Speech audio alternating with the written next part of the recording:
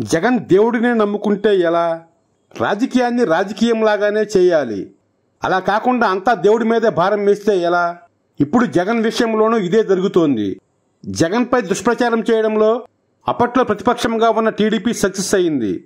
ఇప్పుడు అదే జగన్ ప్రతిపక్షంలోకి వచ్చిన తర్వాత కూడా అదే తరహా ప్రచారం జరుగుతోంది. అప్పుడు బాధితుడు జగనే ఇప్పుడు కూడా ఆయనే. ప్రకాశం బ్యారేజీని పడవలతో ఢీకొట్టించింది వైసీపీనే. ముంబై నటిని వేధించింది వైసీపీనే. ఇప్పుడు తిరుపతి లడ్డూలో జంతు కొవ్వు కలిపింది వైసీపీనే. ఇలా వరుస విమర్శలు వస్తున్నా జగన్ మాత్రం తిప్పి కొట్టడం లేదు. ప్రజల్లోకి వచ్చి తన వాయిస్ని వినిపించడం లేదు.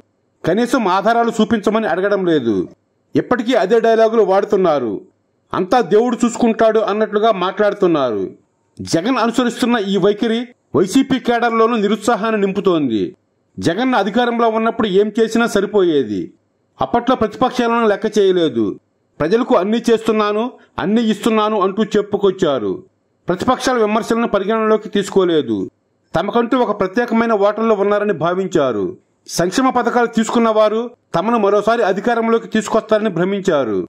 అయితే నాడు ప్రతిపక్షాలు జగన్పై చేసిన ప్రచారం ప్రజల్లోకి బలంగా వెళ్ళింది. వైసీపీ దారుణ పరాజయానికి కారణమైంది. అయితే ప్రతిపక్షంలోకి వస్తే ప్రశ్నించే తత్వం వస్తుందని అంతా భావిస్తారు.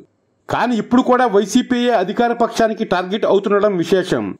ఏపీలో జరిగే ప్రతి సంఘటన వెనుక వైసీపీ హస్తం ఉందని అధికార పక్షం ఆరోపిస్తోంది.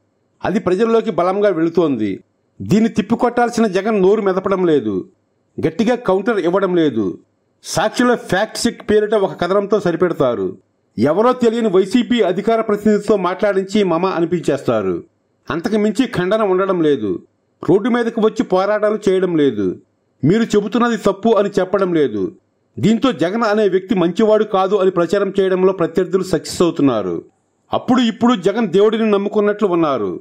అందుకే తన నిస్సహాయతను దేవుడిపై పెడుతున్నారు. అంతా దేవుడే చూసుకుంటాడులే అని భావిస్తున్నారు. ఇది పార్టీ శ్రేణులకు మింగుడు పడడం లేదు. జగన్ తీరు నచ్చక పార్టీకి భవిష్యత్తు ఉంటుందనే నమ్మకం లేక చాలా మంది నేతలు పార్టీని వీడుతున్నారు. అందులో జగన్కు అత్యంత సన్నిహితులు కూడా ఉన్నారు.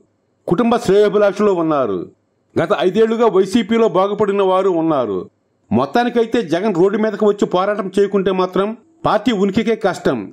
ఈ విషయం జగన్ గుర్తించకపోతే ఆయనకే నష్టం.